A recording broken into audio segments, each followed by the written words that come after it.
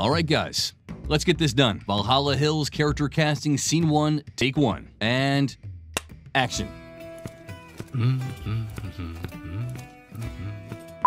So, uh, would you please introduce yourself? Should I look into the camera or at you? I'm Eric, natural born redhead. I love bunnies, and my favorite hobby is making hats. No, no, no, no, no, no. Uh, Hold on for a moment. Uh, Eric, uh, please stay in character. Uh, can you do that for me?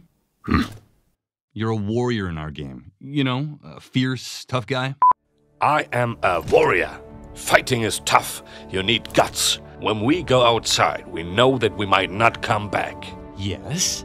But I'm temperate like steel. There's nothing I wouldn't take on, be it wild beasts, Yes. ice demons. And and what about the huge mountains? What? Mountains? I hate mountains.